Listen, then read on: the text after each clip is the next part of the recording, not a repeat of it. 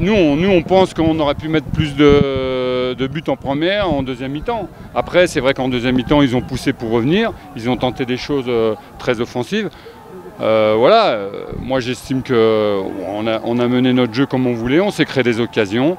et malgré les changements, on a une équipe qui a joué et c'est positif pour la suite.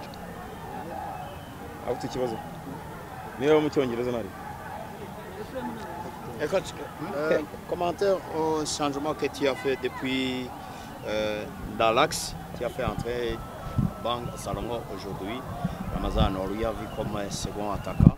Euh, les changements d'aujourd'hui. En fait, les changements, c'est surtout pour euh, soulager les joueurs qui avaient joué trois gros matchs.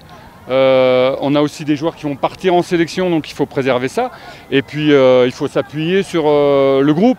On a beaucoup de matchs. Si on s'appuie pas sur le groupe, les joueurs ont très très bien travaillé, ils méritaient de jouer. Et ils ont prouvé que ce soir, ils avaient la, la possibilité de, de défendre euh, euh, les couleurs de APR. C'est positif pour la suite parce qu'on va avoir besoin de tout le monde. Ah, Toi, les entraîneurs n'aiment pas parler d'un individu, mais permettez-moi de vous poser une question sur euh, Tadeo. Euh, il y a le débat. Est-ce que pour vous, quelles sont les qualités dont vous avez besoin à Louis? Qu'est-ce qu'il vous donne? Qu'est-ce que vous aimez chez lui, chez lui Alors Tadeo, c'est très simple. C'est un joueur qui est récupérateur devant la défense. Il récupère les ballons et il donne les ballons simplement.